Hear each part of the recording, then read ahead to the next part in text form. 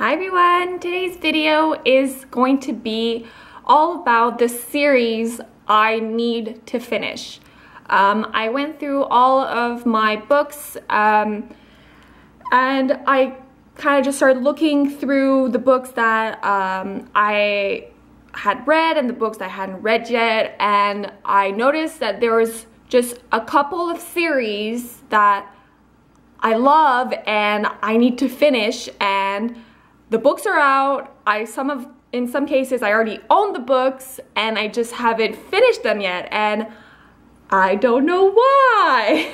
so I thought it would be um, kind of um, a video that would motiv motivate me to like finish those series and also I just thought it would be a great video to just share with you guys. So let's get into the video. So the first series I desperately need to finish is the Chaos Walking Trilogy by Patrick Ness. I've read the first two books and I started reading the third book, which is Monsters of Men, and I haven't finished it yet. I'm about halfway. Yeah, I'm at 240 and I haven't finished it yet and I don't know why and I've had these books for months now because uh, a friend of mine lent them to me before he went to, for, uh, to do a semester in China.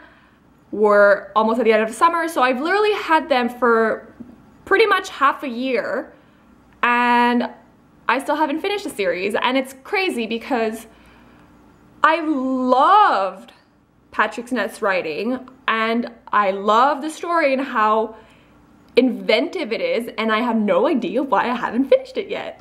Um, basically, if I'll just give you a quick uh, overview of the series, it's about this boy who lives on this planet and there are no women alive on the planet and they can hear all each other's thoughts.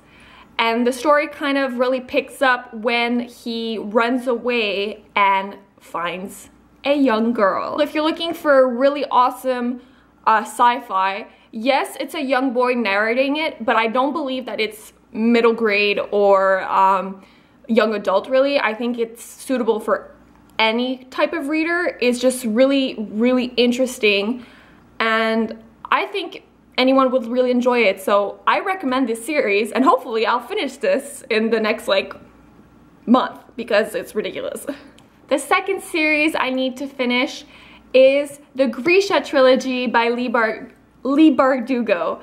I have the first two books here, um, Shadow and Bone and Siege and Storm, and I adored these books. The third book, Ruin and Rising, has already come out, but I haven't picked it up yet and I haven't started reading it yet, which is absolutely insane. Um, this is basically a young adult fantasy series where um, there's this world where is like taken over by shadows, by darkness. And our main protagonist can shoot light from her hands. She has like power of light. And what combats the darkness? Light. So it's really interesting and also there's one of my favorite characters ever, the Darkling. Um, I just love that character.